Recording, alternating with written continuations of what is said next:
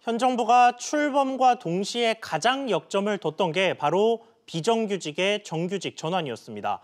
그런데 그 공약이 무색할 정도의 결과가 나와서 청와대나 정부 모두 당혹스러워하고 있는 상황인데요. 관련해서 취재 기자와 이야기 나눠보겠습니다. 이한승 기자 나왔습니다. 자, 이 기자. 네. 자, 우선은 뭐 앞서 정인아 기자 리포트 보면 비정규직이 급증했다는 거잖아요. 그렇죠. 근데 또 통계청은 뭐 조사 방식이 바뀌었다 뭐 이런 식의 얘기를 하고 있는데 이게 뭐가 어떻게 됐다는 얘기인가요? 네, 다시 한번 정리를 해보면 통계청 측의 주장은 이 국제노동기구 ILO에서 정한 방식에 따라서 이 통계 집계하는 방식을 바꾸다 보니까 비정규직이 86만 7천 명이 늘어났다는 겁니다. 어, 그동안 정규직으로 분류됐던 사람들이 기간제 근로자, 근로자 그러니까 기간을 정해놓고 일하는 사람들로 분류가 됐다는 건데요. 어, 쉽게 말해서 86만 7천 명이 많이 늘어난 것처럼 보이지만 비정규직이 늘어난 것은 다 통계가 바뀌었기 때문이라는 겁니다.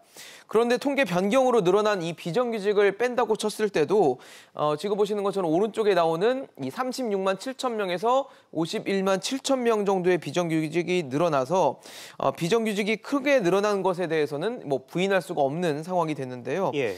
지난해 비정규직이 재작년에 비해서 3만 6천 명이 늘어났으니까 뭐 최소로 봤을 때 36만 7천 명을 가정을 했, 했더라도 증가폭만 10배가 된 셈입니다. 네. 즉뭐 통계 방식 변경을 운운하지 않아도 비정규직은 크게 늘어났다라고 볼 수 있는 겁니다. 자, 그러면 비정규직이 사실 뭐 증가폭이 10배나 된다는 거는 정말로 이례적인 상승폭인 셈인데 그렇죠. 왜 이렇게 늘어난 건가요? 뭐 아무래도 정부가 세금, 그러니까 재정을 쏟아부어서 늘린 이 공공 일자리의 영향이 큰데요. 이 비정규직 가운데 60대 이상 노인들의 비중이 지난해 24.9%에서 올해는 25.9%로 1%포인트 더 늘어났습니다. 그런데 지금은 정, 재정을 부어서라도 일자리가 늘어나기라도 하면 그거라도 감지덕지라는 게 현재 정부의 입장이거든요. 예. 그래서 정부는 지난 2017년 47만 개였던 공공 일자리를 이미 올해는 61만 개로 늘렸고요. 내년에는 74만 개까지 늘릴 계획입니다. 그리고 올해 2조 원 정도인 예산도 내년에는 2조 9천억 원 정도로 40%가량을 더 늘리기로 했습니다. 네, 뭐 물론 일자리가 줄어드는 것보다야 늘어나는 게 반가운 소식이기는 그렇죠. 합니다만 이 비정규직이 늘어났다는 거는 고용의 질이 나빠졌다라고 볼 수밖에 없는 부분 아닙니까? 맞습니다. 사실 문재인 정부 같은 경우는 뭐 취임 초 출범 초기만 해도 비정규직 제로를 앞세운 정부이기 때문에 이 비정규직 증가가 뼈아픈 결과일 수밖에 없는데요. 예.